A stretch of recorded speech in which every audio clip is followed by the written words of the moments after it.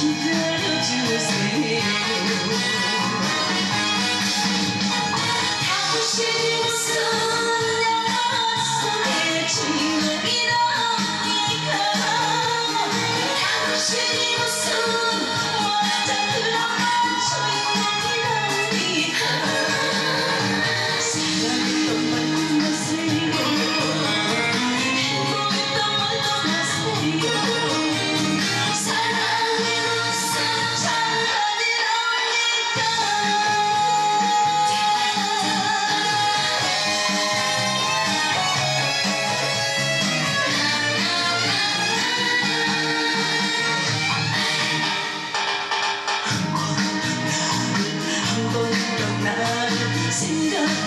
주세요.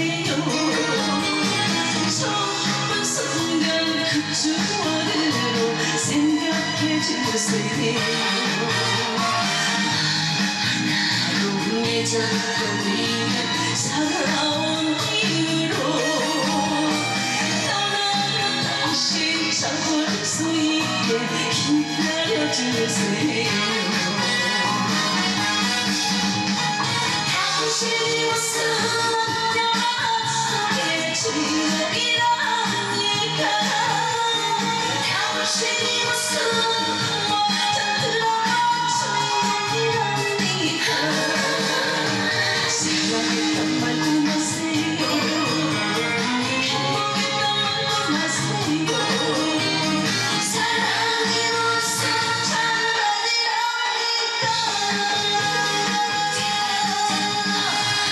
She was so much, reaching the middle.